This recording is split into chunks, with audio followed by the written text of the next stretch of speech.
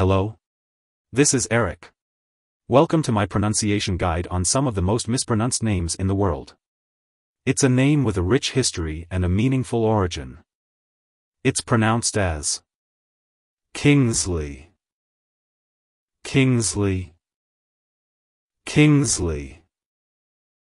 To pronounce it correctly, emphasize the KINGZ sound and then smoothly transition to Lee.